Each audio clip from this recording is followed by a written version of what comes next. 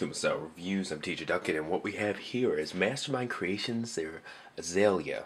So there are two versions here. This is the standard version, which is of course their homage to Arcee.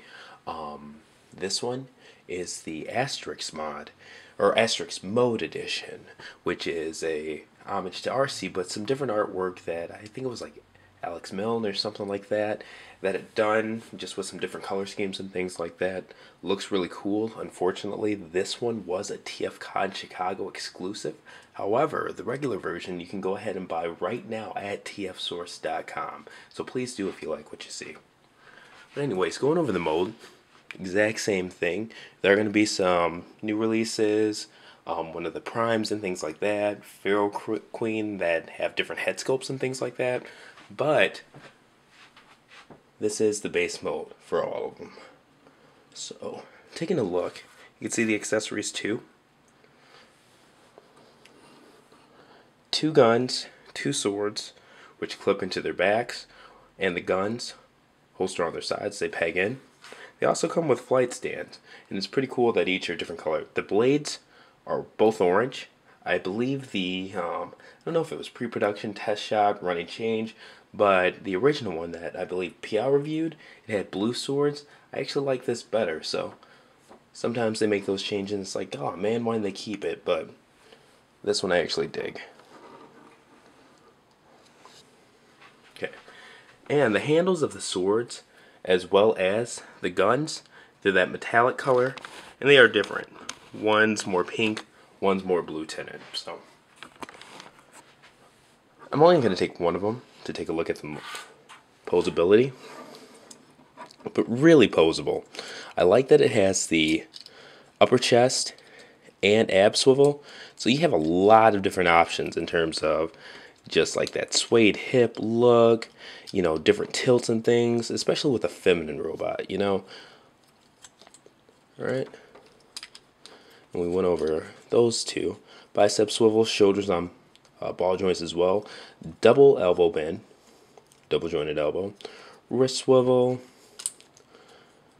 So there is the um, swivel at the thigh above the knee. Really good knee bend too. So not double jointed, but just good. Feet go forward and downwards or up and down.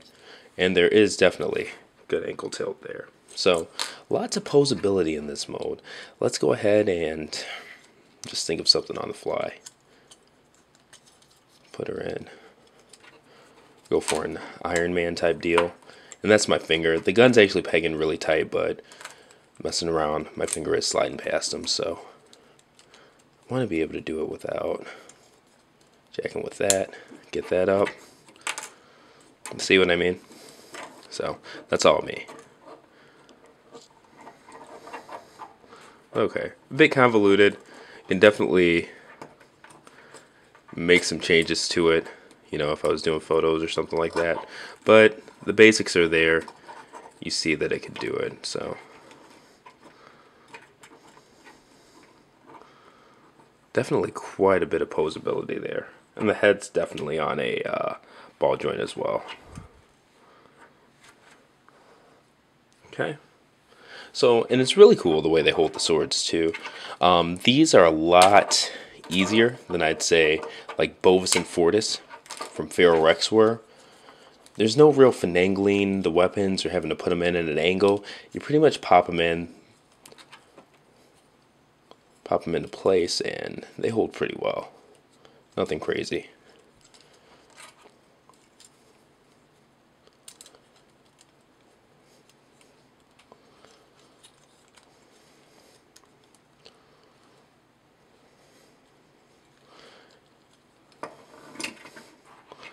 Um, and even though I'm concentrating on the regular version, the pictorial on kumastyle.com will definitely have pictures of both. So you get to see a lot of detailed, cool poses with both of them.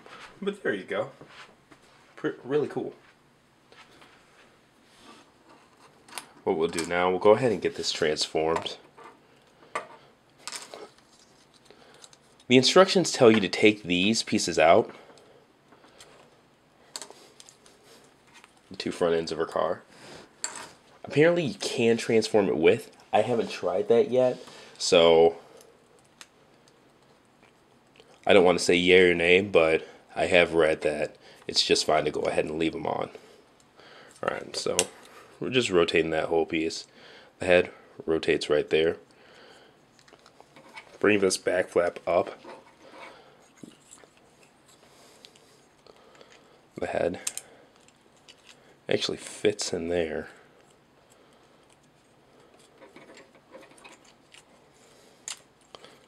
Oops. The problem I'm having is that the waist wants to rotate and go as well as the chest. Even though it's awesome for the, the toy itself, less posability would kind of be beneficial to the transformation here. So it's definitely a give and take. But the head just pegs in down there.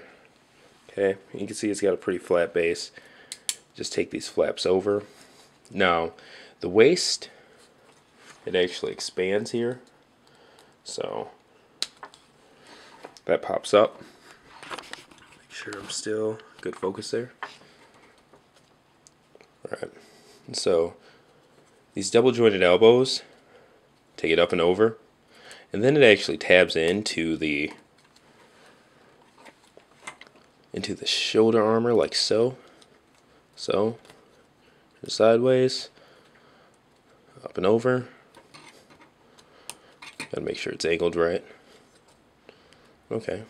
Make sure the fists are still facing towards you. Now legs, kind of funny, but not too bad. They just untab. And then see where it slits right there.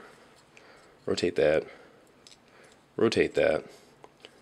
Now on the back side, it's kind of hard to see. I'll zoom in. Focus. You see a peg here? The hand actually fits onto that peg. So, alright. Do the same for the other side. You just make sure that it's rotated in. That really helps. I had a problem getting in the hands to go into the peg. It seemed like it wasn't long enough. But then I saw in the instructions that you have to extend that uh, ab piece there. So that's really crucial that you do that. But that's what you got so far. Alright. Make sure those are pointed up. The knees. Let's rotate them. Now, the like this forearm army, you're gonna want that. I'm gonna have to repeg that in. I should have done that beforehand, but hindsight 2020. Just make sure that's pointed out, and you'll see why in a minute. Alright, just retab, retab. Now the knees, bring that forward, and this actually tabs into that uh, that forearm arm. arm. Alright, so got those tabbed in, and like I said, the feet they just fold over into those tabs on the forearms there. Alright, so I flip the hood up, starts down there. You can just flip it up, not nothing crazy Get that foot tab back in. Alright, and once everything's tabbed in, it's really solid. So, for the rest, I'll actually put the flight stand on. It's the same shape as the hole in the crotch plate, so not hard or anything like that to put on. But this makes putting the guns on and stuff like that a lot easier. You just put the handles back, on each one. Then they go on, they clip on upside down, and you can see a little tab where you slide them in and they uh, clip in. So once you find the groove, it really just slides in easily. It's just doing it at the right angle. There you go. And you heard that snap there. So it's good stuff. The swords, just fold them over fold them over, and then they peg into the back of the cab there.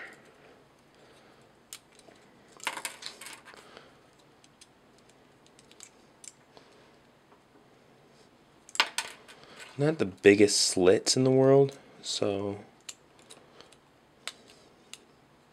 Sometimes they'll look like they tab in and then they just don't.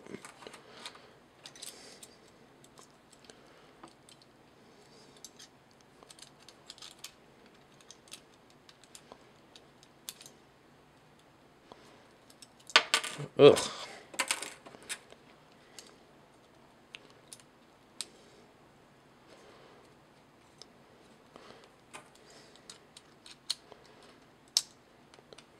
That back in. And now these two pieces, they just peg right in. Let me go in nice and slug. Snug. There are three areas. Um, hole, hole, hole.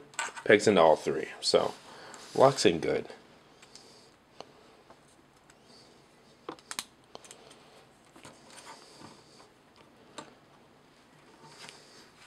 Alright, and there's that.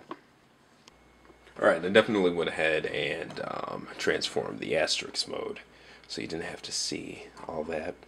I don't think the transformation's really hard, but it's just not one that fits me, my hands, etc., etc. No matter how easy a transformation is, they just don't work for everybody all the time unless it's something like a one step or something like that. So, nothing's too crazy about it. I'm just not finding that groove with it yet. So maybe over time it'll come, but because I have times where I transform it in it feels like 30 seconds and then there are times that take me 5 minutes. So I really don't know. But looking at the side of each, really cool hovercraft mode. I like them a lot. And I love that they come with the flight stand, so that's a nice little touch. One thing that I saw um, people doing at the con, I don't know if it's a fan mode or one of the alt modes that's going to be on maybe one of the repaints or variants or whatever, but they had this spaceship mode that was really cool. So let me see if I can still do it. I better be able to since I'm on camera now.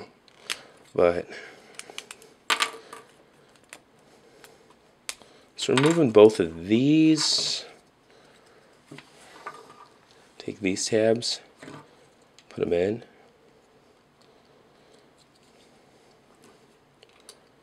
This goes in here, I believe. Yeah, so that goes in there. And then you just take this, turn it ever so slightly, and it has to be some kind of mode because there are pieces here you're going to see that are for that. And of course, this became unpegged, which is fantastic. Alright.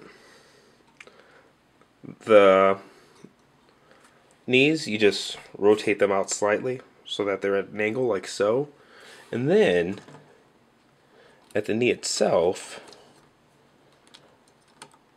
and of course they're being like crazy tight now. There we go.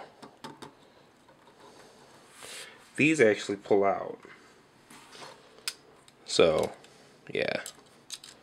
And of course, that wants to be fiddly. See what I mean? It's just not. Not made for my hands.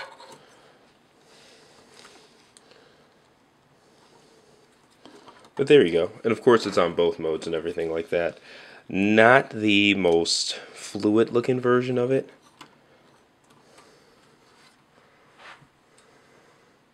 But yeah, really neat that they have like a Star Cruiser mode in there too, besides just the hovercraft. But anyway, this is the Mastermind Creations Azalea. Of course, the regular version, which you can buy at tfsource.com right now, and the TFCon exclusive version. So, with the TFCon exclusive version, just a note um, if you have the chance to get one at cost due, I've seen them go as high as $200 already. So, glad that I was able to nab mine. Definitely an awesome repaint. The regular version is awesome too. I mean, you can't lose either way. But regardless, this has been another Kuma Style review. And I'll see you guys next time. Make sure to check out the pictorials on tfsource.com slash blog and kumastyle.com. So I'll have reviews of Azalea on there and the asterisk mode on my personal site. See you next time.